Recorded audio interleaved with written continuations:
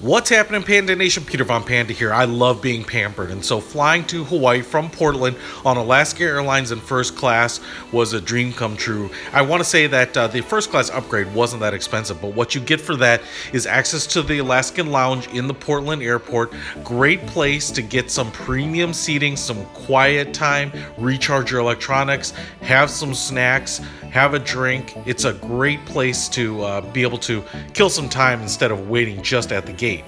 Of course, the experience flying in first class is really what you're paying for, and here we have a 2x2 seating instead of the 3x3, which is in coach.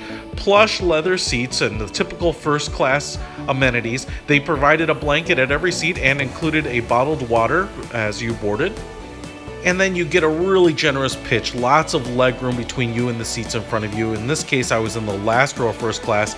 Uh, it was even a little hard to touch my backpack, which I put underneath the seat in front of me, but plenty of leg room to swing my legs, cross my legs, and that's really what you think of as first class. But for me, it's really about the shoulder room and the, the width, you know, to be able to kind of spread out without getting hit by a drink cart. Tray tables are in the armrests, they unfold. There's actually another little cup holder that extends from the middle. They do offer you champagne and mimosas when you board. Those were delicious. And did I accept? Yes, I did. You also might notice that in the seat backs in front of you, there is no uh, built-in screen for entertainment. Nope, nothing works. You're gonna have to provide your own, although they do give you complimentary tablets with movies loaded on it if you haven't brought it. Before dinner, you'll get a hot rag to wash your hands, and then you'll get a menu included warm nuts, salad with blackberries, braised beef and ravioli, and then ice cream for dessert.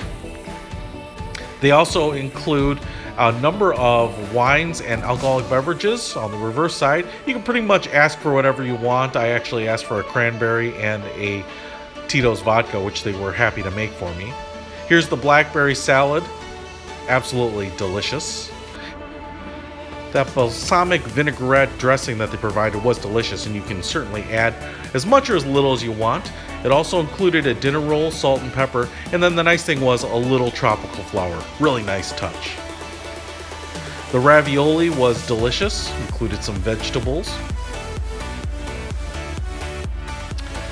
And then I opted for the braised beef, which was very delicious.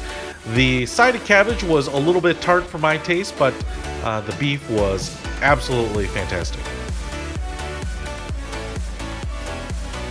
Oh yeah, baby. Now the sea salt with caramel ribbons ice cream I've never seen before and I don't know where you get this, but I have to find out where you can buy this thing because it was decadent and amaze balls.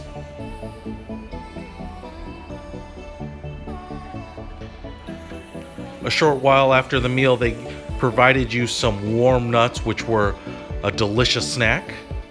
And then at the end of the flight, they gave everyone some Seattle chocolates with sea salt. I tried it. And yes, they're amazing too.